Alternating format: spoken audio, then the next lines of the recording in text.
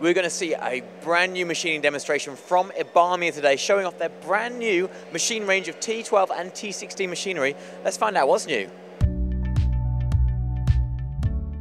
Let's go talk to Christian, the operator, see what's new, and then we're going to go talk to the work holding experts and also the CAM experts who've made this possible. Okay, Christian, how are you doing, my man? So, Fine. we're here in front of the T12. Yeah. Um, what's new about this machine? What is new in the machine range? What is new on this machine is that it has now for the linear axis uh, direct motors. So we are capable to have better positioning, uh, more dynamic movement for uh, good for five-axis continuous uh, works. No?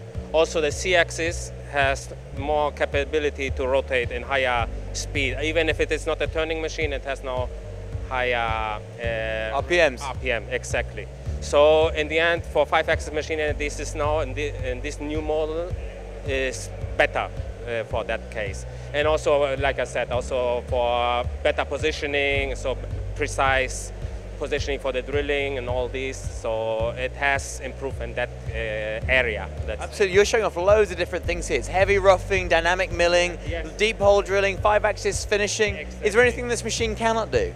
Oh, turning. Uh, but then, but then we have that option also for the multi-process. So in the end, we can you can ha- you have the option to go in that area. Uh, otherwise, it's a pretty complete machine. Perfect. Let's have a look at some machining footage and then we'll go and look at the cam, uh, talk to Miguel from SolidCAM about the exact features on the demonstration.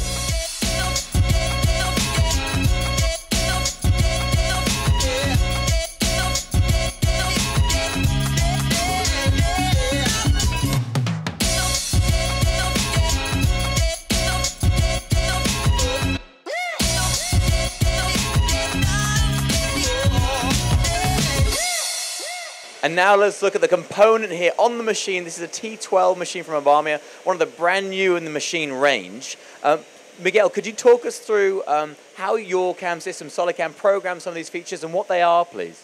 Yes, well, uh, in this uh, part we wanted to show both the software, the machine, and the tooling. So in this case, for example, we have this pocket here. In the, this case of this pocket, we used plunge milling uh, with a really big diameter tool, a, a 60 diameter tool, a 60 diameter drill from Kennametal. Uh, and then we roughed with a, also a big tool, a Harvey Ultra tool, uh, to rough the, to finish roughing the, the, the walls. Uh, here we use the Harvey TE, uh, the new also the new tool for Kennametal for this slotting and also showing our 3 plus 2 capabilities doing this uh, small chamfer. Uh, here we used uh, for roughing iMachining our patented dynamic roughing strategy and also in, in simultaneous five axis we already finished this letter and this letter you can feel that there's a tilting here, there's a slope and we did that with simultaneous five axis. Also we did uh, three axis and five axis um, uh, roughing here. This is still not finished.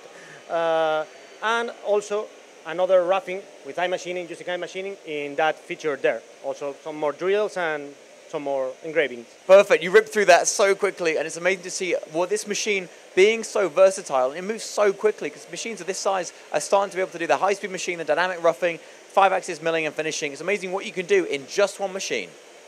And now, some would say the most important part of the component is the work holding right here. Now, Inigo supplies the self-centric vices here from Fresmak. I mean, these are some tiny, they're gripping on such a tiny length. How can you achieve that? Yes, well, in fact, this is the biggest model we have. It's almost the biggest. And one of the advantages we have with this model is that uh, the, uh, the clamping uh, capabilities of this vice are terrible. I mean, we have a clamping force of 32 kilonewtons with this model that enables us to get into the, the workpiece with the close serrated jaws, and we can clamp it. You can see it over there with only two and a half millimeters. We are clamping the whole part. That's 300 kilos, and they start machining all over, and it stands everything. I mean, it's, it's very impressive. Doesn't matter what direction you're machining in with that heavy cutting we saw in the demonstration. Yes.